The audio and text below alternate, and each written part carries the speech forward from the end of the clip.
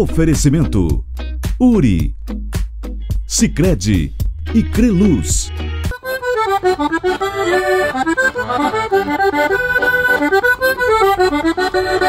Buenas pessoal, eu sou o Simon Stroll da Costa, eu desenvolvi a primeira gaita de bambu do mundo.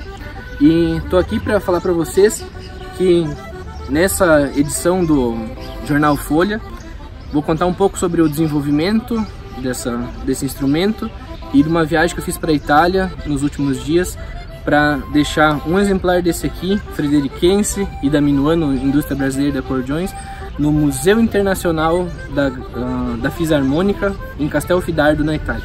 Confere lá!